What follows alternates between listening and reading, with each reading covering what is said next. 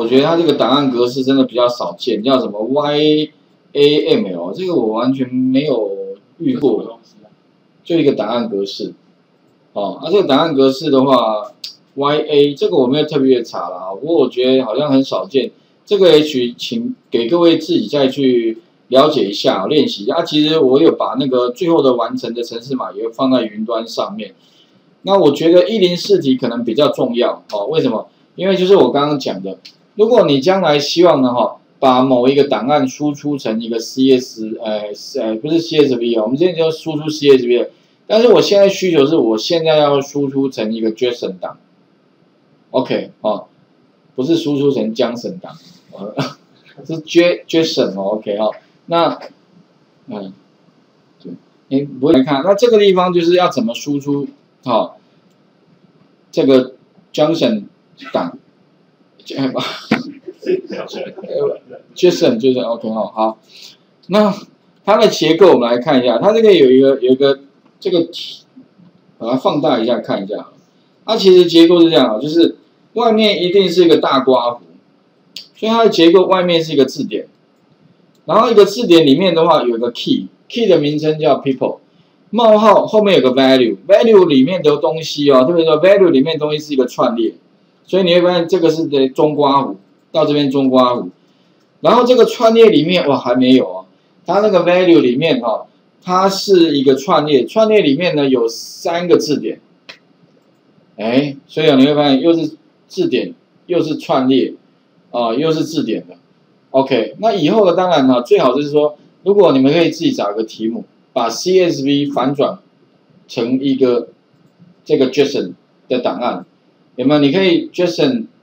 转 CSV，OK，你也可以把 CSV 再转成 JSON 也 OK 的话，哇，那表示应该是没，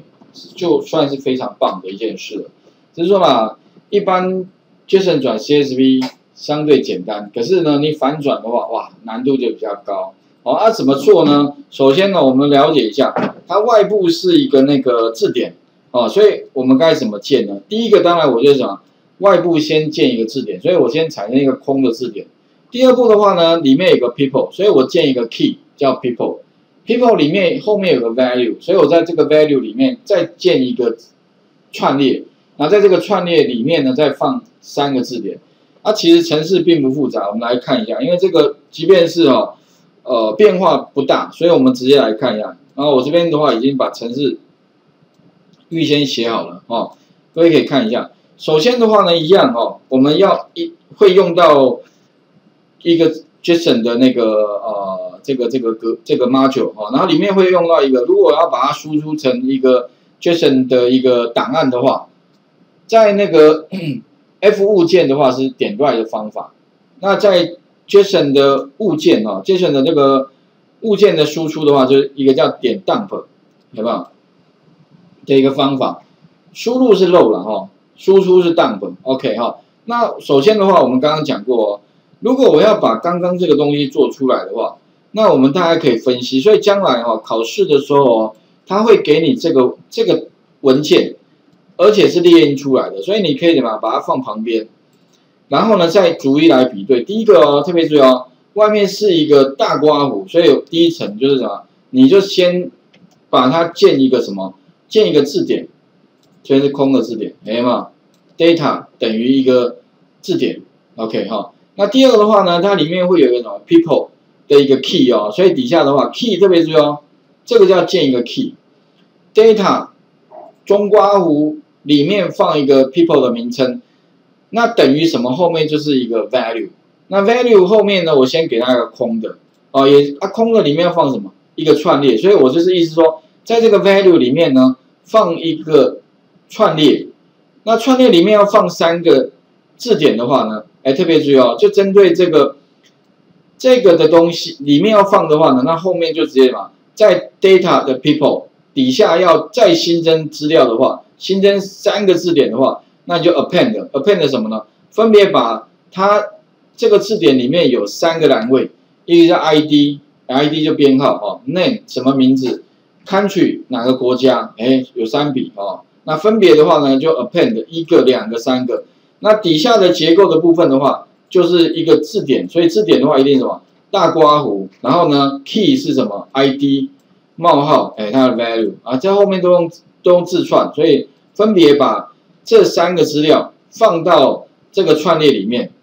啊，最后的话呢，这个 data 就就是我们看到的这个结果，就所以啊，特别说放放进去之后的话，就会这个 data 里面呢，实际上哦，那就会是这样的一个结构了。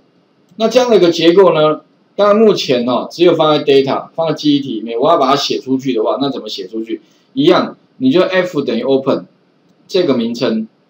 write 哎，把它写出去。那特别注意哦，前面我们如果写 CSV 是 f 点 write 把那个呃 s 放，那现在是 data，所以我就把用一个什么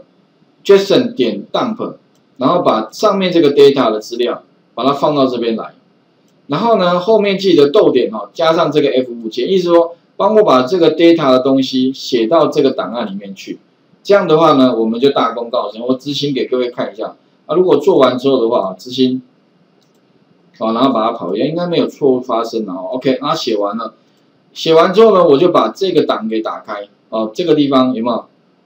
当然你按右键哦，重新整理 refresh 一下，然后这边有个 write 哦，就这个档，点。JSON，然后把它打开，你会发现哦，这个时候的话，看一下大刮弧没错，里面有个 key，key 后面的话有个 value，value 是一个串列，串列里面的话有三笔资料，第一笔资料逗点，第二笔资料逗点，第三笔资料，然后后面的话呢哈，那就一样是结束它的串列，结束它的字典，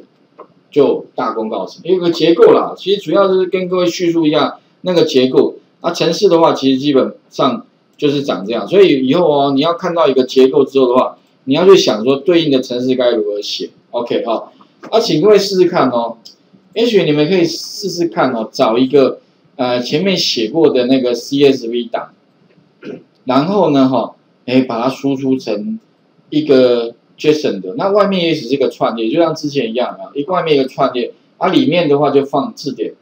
，key value key value。OK 哈，试试看，把画面先还给各位试一下哈，就是练习哈，反转过来，把 CSV